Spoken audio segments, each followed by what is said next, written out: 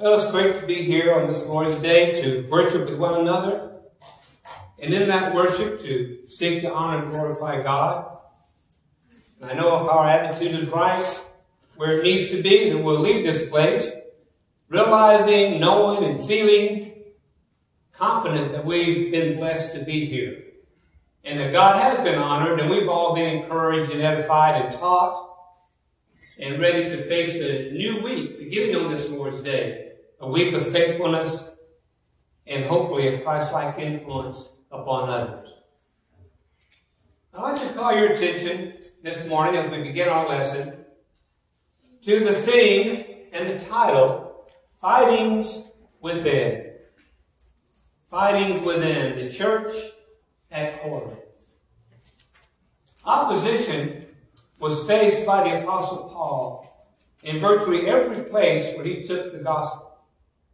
In 2 Corinthians chapter 7 and verse 5, he refers to that opposition in Macedonia, where in writing to the church in Corinth, he says, For indeed, when we came to Macedonia, our bodies had no rest, but we were troubled on every side. Outside were conflicts, inside were fears. Fightings without, fears within was what Paul faced. Sometimes from unbelieving Jews, and other times the opposition came from hostile civil authorities. But more importantly, in reference to the opposition that Paul observed, he recognized in some churches that they were standing in opposition to the laws of Christ. To those things that he had, by inspiration, revealed to them as the laws of Christ, the gospel of Christ. They were not living up to the gospel of Christ. And the Corinthian church is certainly a case in point. Their reputation, for example, was one that was maybe the reason why Paul wrote 1st and 2nd Corinthians in the first place. In 1 Corinthians chapter 1 and verse 11, Paul writes, For it has been declared to me concerning you, my brethren, by those of Chloe's household that there are contentions among you. So their reputation for being contentious, for having problems that went beyond being contentious, was apparently known in other places. I don't know exactly where Chloe was from. Was she from Corinth? Uh, or was she from Ephesus, where Paul was when he wrote this letter? We're not really sure. But she knew about the problems, and Paul knew about it when he was in Ephesus writing these books, at least the first book, First Corinthians. So the Corinthian church was certainly a church that had internal problems and issues. And answering and attending to those problems and issues is really the focus of both 1st and 2nd Corinthians. The Corinthian church had problems, and Paul had to attend to those problems. So Paul in 1st and 2nd Corinthians addresses those problems. But he's also addressing not only the problems of the church in Corinth, but in 1 Corinthians chapter 1 and verse 2, as he introduces this letter, he says, Paul called to be an apostle of Jesus, Christ through the will of God, and Sosthenes our brother, to the church of God which is at Corinth, to those who are sanctified in Christ Jesus, called to be saints, with all who in every place call on the name of Jesus Christ our Lord, both theirs and ours. He's clearly pointing out that the church in Corinth is not the only church for whom these instructions are intended. The church in Corinth is not the only church that had problems and issues that we're going to talk about today. He recognized that problems and issues were part of every church. He says to the saints with all who in every place call on the name of Jesus Christ our Lord. So he recognized that he was addressing problems that could crop up in any church back at that time, and even to this very day. Churches experience and deal with the same problems that Paul dealt with and that the Christians in Corinth dealt with back in that day 2,000 years ago. So, both these letters address the problems and the issues that not only the church in Corinth had to deal with, but that you and I have to deal with as well in this church And in other churches, every church around the world shares to some extent the same problems that the church in Corinth had to deal with. The problems that they dealt with, that Paul addresses, and I think I'm going to list 11 altogether, not all of them in today's lesson. I'll probably divide this lesson up into three different parts. I don't want to go too fast. I want to hit every point as clearly and precisely as I can. But uh, the problems and temptations and the sins that they dealt with is not really the focus of what Paul has to say.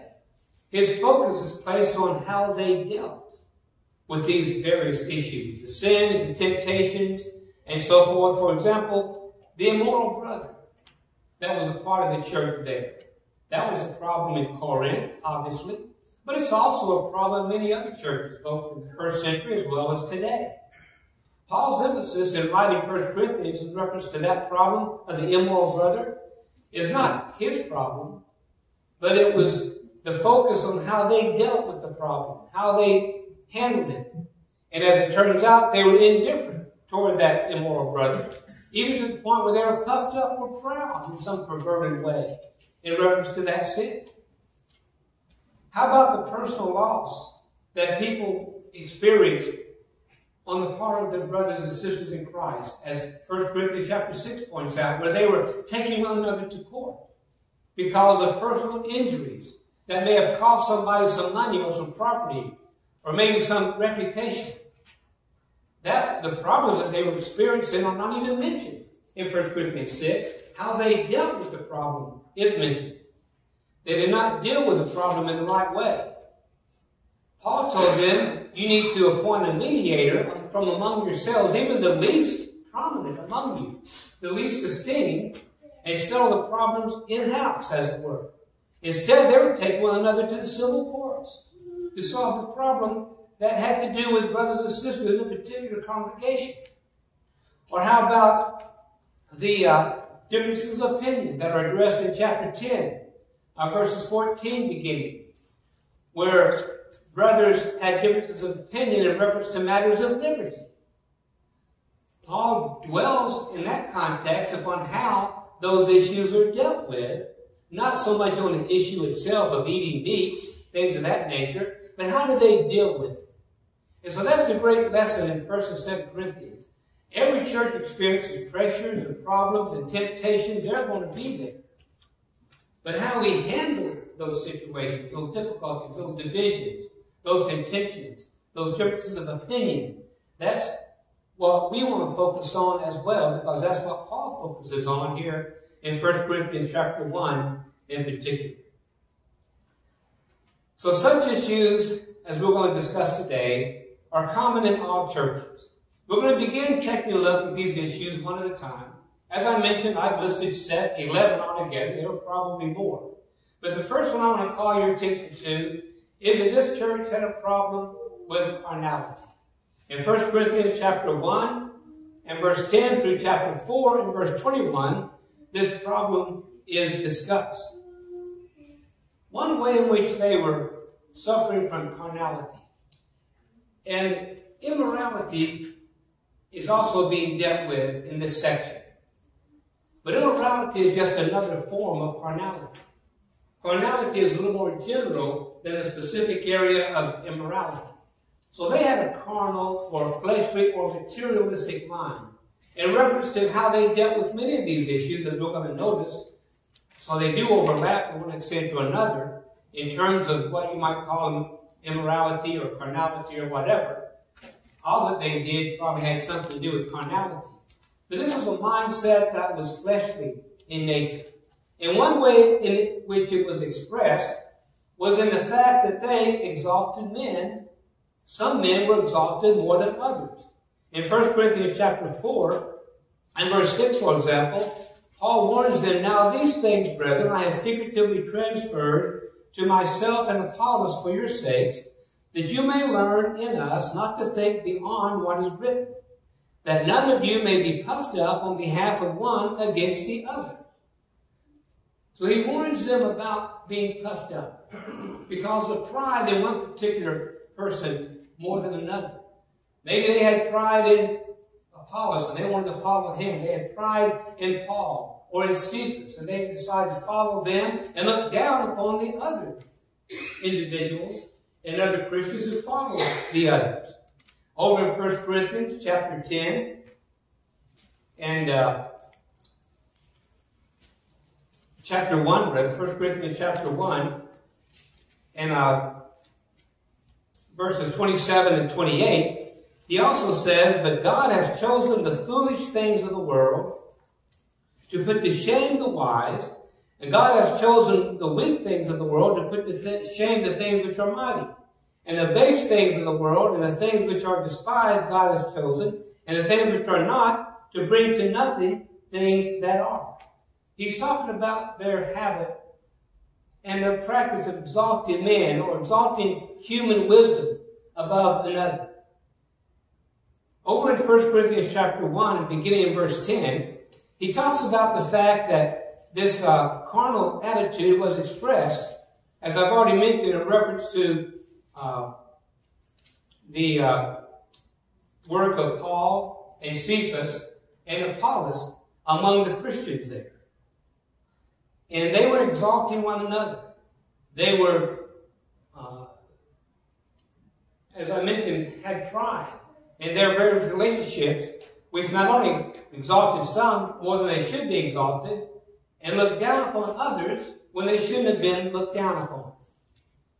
The work that Paul and Cephas and Apollos did with regard to the church of Corinth, Paul described it as uh, I planted, Apollos watered, but God gave the increase. He's pointing out that planting is important in teaching the Word of God to a group of people that need the gospel. Watering is also important. But he points out primarily that it is God who gives the seed that's preached its living properties and potential to bear fruit. That's God behind that. No man should be exalted above what God has commanded us to do and the way God estimates us. We're workers in the vineyard of God. We might be planters. We might be waterers. But God is the important one. And it is he who receives the glory. Just like Paul says there, as I mentioned, beginning in verse uh, chapter 1, skip verses 10 and 11. But look at verse 12 where Paul says, Now I say this, if each of you says, I am of Paul, or I am of Apollos, or I am of Cephas, or I am of Christ. Is Christ divided? Was Paul uh, crucified for you? Or are you baptized in the name of Paul? I thank God that I baptized none of you except Crispus and Gaius, Lest anyone should say that I have baptized in my own name.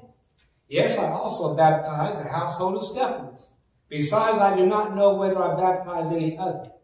For Christ did not send me to baptize, but to preach the gospel, not with wisdom of words, lest the cross of Christ should be made none effect. Several times in these few verses, Paul talks about Christ. Paul was not crucified for these people, Christ was. Paul was not sent to baptize, but to preach the gospel of Christ. Anyone can do the baptizing. The church was based upon Christ as a Son of God. He's the important one. And Paul tries to point that out to the people here. Don't extol one another as being more important than another. Don't look down upon those. We're all working, we're all together. We're all imperfect human beings. The glory should be given to God. If the seed is planted, give God the glory. If the seed is watered, give God the glory. If the seed grows and produces fruit, give God the glory. It does not belong to men.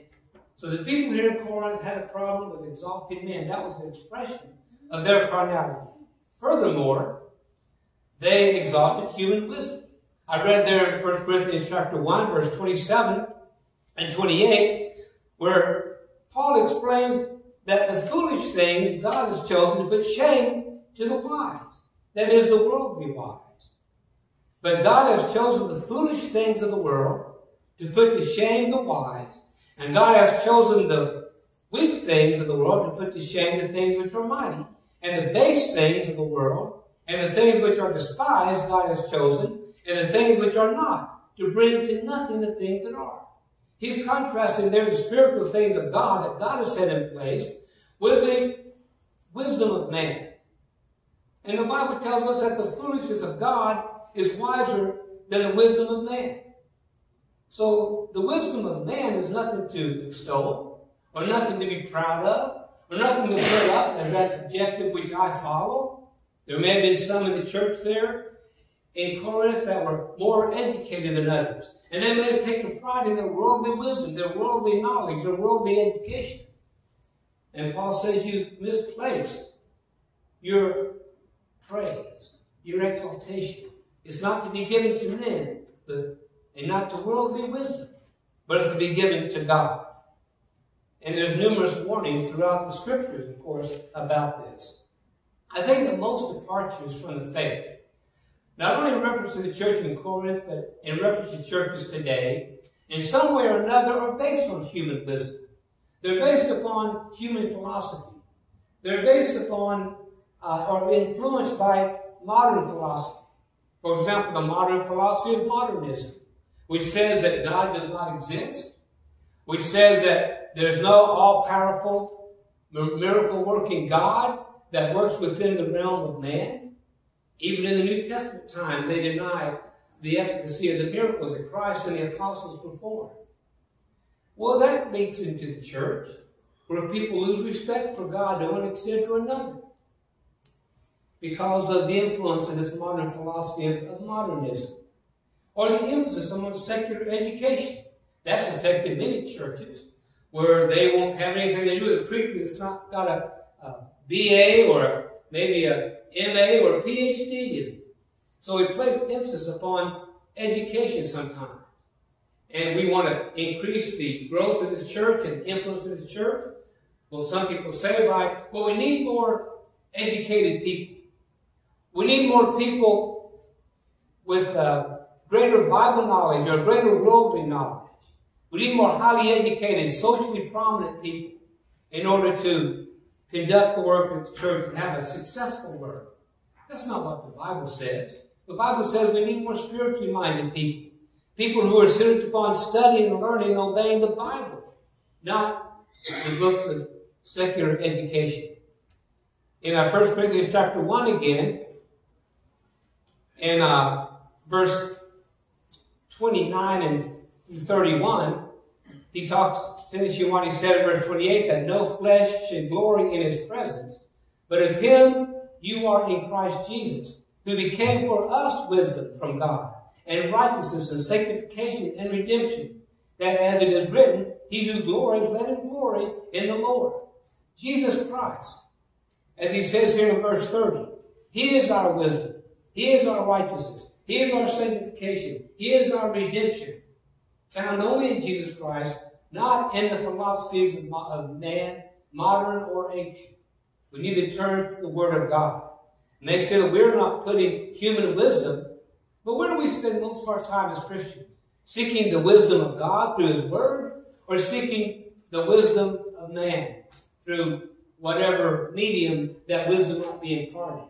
We spend an awful lot of time with our cell phones and watching television. I'm convinced that if an epistle was written by the Apostle Paul to the church today, that television and cell phones would be in there somewhere, warning us about how much time we spend with those mediums of information and condemning that because we're allowing those things to replace what time we should be spending with God's Word receiving the sanctification and the redemption, the righteousness, and the wisdom that is in Jesus Christ. And making sure in our life that we make the changes that need to be made. And spending more time studying the Word of God and gaining His wisdom. Because we'll gain much more wisdom, and as a result, much more happiness and spiritual success in every area of life. Success by studying God's Word more so than spending time watching television or spending time getting information on our cell phone. But a third reason why they were known for their carnality is that they made distinctions based upon class. They made distinctions based upon a level of education, as we've already talked about, a level of wealth, a level of prosperity, Maybe their personality. They, they were making class distinctions in reference to different things that Paul says are not worthy of our concern and certainly not worthy of our exaltation. When we talk about the prominent members of the church, they should be the ones who are the most spiritually minded, the ones who are the hardest workers, the ones who are the most humble, are the ones who should be highly esteemed among us. And we should take our minds and our thoughts, and our high estimations off of those who might be wealthier, or off of those who might be more socially uh, prominent, and off of those who might have the greatest personality, and focus on the need for us as individuals to be humble and um, submissive to God and spiritually minded rather than worldly minded. So this is uh, one area that's a problem with the church in Corinth. They were carnally minded in they exalted men, they exalted human wisdom, and they divided the church into these different classes, distinguishing one and honoring one over the other. Which, as I said, is a problem with every congregation, both during the time of Paul and also during our time here in the 21st century. Something we need to make sure that we're not guilty of as individuals or as a church. Where is our mind? Where is our focus? It should not be on material or carnal things, but on spiritual things. Let's get away from measuring our success or our prominence or our uh, worth based upon human standards, but on the standard of God's Word, which is not based upon numbers or popularity or power, but based upon spirituality and humility in serving and obeying God. Another area of problem and difficulty that the church in Corinth had, besides their carnality, was immorality. When I mentioned at the beginning of the lesson, we're going to be talking about the problems of the church in Corinth. The immorality was probably uh, the one that came to your mind most. In 1 Corinthians chapter 5 and verse 1, he says, It is actually reported that there is sexual immorality among you, and such sexual immorality as is not even named among the Gentiles. That a man has his father's wife.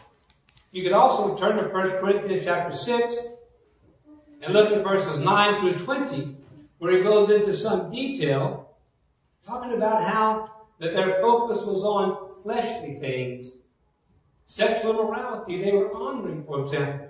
Look at 1 Corinthians chapter 6 and verse uh, 13. Here Paul is talking about their estimation, how they figure things. He says, food for the stomach and the stomach for food, but God will destroy both it and them. Now the body is not for sexual immorality, but for the Lord, and the Lord for the body. And God both raised up the Lord and will also raise us up by his power. Do you not know that your bodies are members of Christ? Shall I then make the members of Christ and make them members of a harlot? Certainly not. Or do you not know that he who is joined to a harlot is one body with her? For the two, he says, shall become one flesh. But he who is joined to the Lord is one spirit with him. Flee sexual immorality.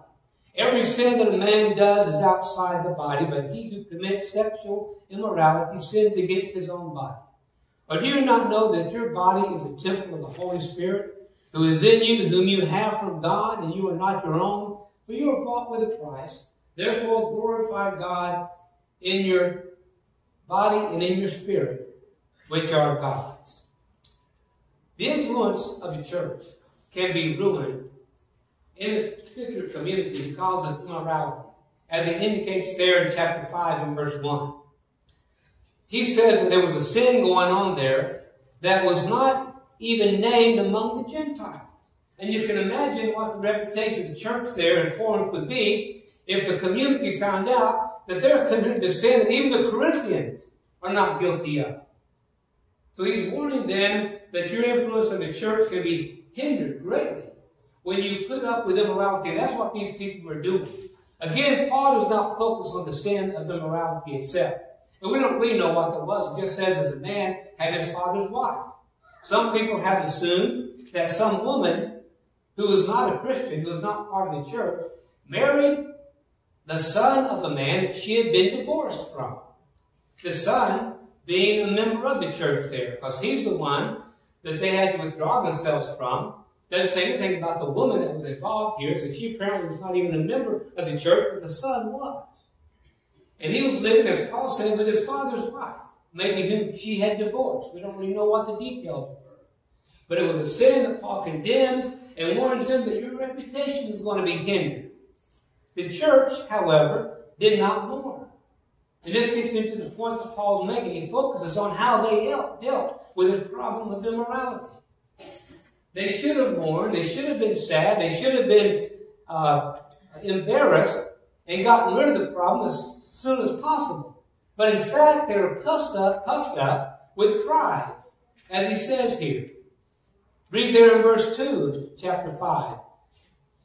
In reference to the sin that he named there, he says, And you are puffed up, and have not rather mourned, that he who has done this deed might be taken away from among you. For I indeed, as absent in body and present in spirit, have already judged, as though I were present, him who has done this deed. In the name of the Lord Jesus Christ, when you are gathered together, along with my spirit, with the power of our Lord Jesus Christ, deliver such a one to Satan for the destruction of the flesh, that his spirit may be saved in the day of the Lord Jesus. Your glorying is not good. Do you not know that a little leaven leavens a whole lump? Therefore purge out the old leaven, that you may be a new lump, since you truly are unleavened. For indeed Christ, our Passover, was sacrificed for us. This is very tough language on the part of the Apostle Paul and teaching them how they need to deal with this example of immorality. How were they puffed up? Why were they glorifying that? I have no idea that that sounds perverted. But in some way, Paul identifies their sin in handling this. It made them puffed up and made them proud. They were boasting in some way or another. Maybe because uh, this person was prominent in the church. And they figured if they brought attention to that problem withdrew from them and marked him, delivered him over to Satan, as Paul said, it might divide the church. It would ruin everything if we try to attack this prominent brother. That might have been it. They might have been afraid that the church would divide, thinking that, well, everything's going great. We're growing. Uh, we have all these blessings. We don't want to spoil the, the, uh, the apple cart here. We're just going to let it ride. So we don't really know what was the background as why they do not handle the situation. But Paul condemns their being puffed up and being proud of this. We don't really know why. Could have been any number of reasons, as we've indicated. But Paul uses tough language, and his purpose in using that tough language was to bring that sinful brother to repentance, and also in order to help the church maintain their spiritual purity. Same is true today. How many examples of immorality have existed in certain individual local churches that have not been dealt with for a variety of reasons. But whatever the reasons were, it was going to be bad for the church because a sinful person would not be brought to repentance and the church's purity would be uh, compromised. It would not stand pure in God's eyes as Jesus intends according to first to uh, Ephesians chapter 5. He also points out, as we read there from 1 Corinthians 6, verses 9 and 10, that fornication is not for man. These people had apparently reasoned that, well, fornication is okay. This brother is guilty of immorality, fornication, we're going to let it ride because we figure like this. The food is for the stomach, and the stomach is for food. When a person gets hungry, he eats food. That's the way God intended it. And I think that's, that's true. God intended that our food be for uh, our stomach and our stomach for food. That one doesn't make sense without the other. And they said, since man has a desire to have sex, then I guess any way he wants to have sex is be okay. It's part of God's plan. And then Paul goes on to crush that particular reasoning. And he ends up by saying, flee sexual immorality. He says, that uh, our bodies and our spirits are God's. They belong to God. We're supposed to use our spirits and our bodies to glorify God, not to glorify the sex, and certainly not to glorify the sins of the flesh. Our bodies belong to God. We've been brought, bought with a price, as he says here. Our bodies are the temple of the Holy Spirit. And just like in the Old Testament, the temple of Solomon he built there was not to be misused or profaned, And so let us maintain the sanctity of our bodies, which are, as described here, the temples of the Holy Spirit. We have several other, at least one I thought was going to problem there in Corinth I was going to address today. But I'm going to skip over it for the time being and pick it up in the sermon next Sunday because our time is, is already up. But I want to conclude the lesson with a passage of scripture from 1 Corinthians I think is appropriate as we observe any of these sins and problems that the church in Corinth had. Because they were not following this admonition Paul gives toward the end of 1 Corinthians. And it's something that we need to be reminded of as well. He says there in, uh, let's see if I can find it.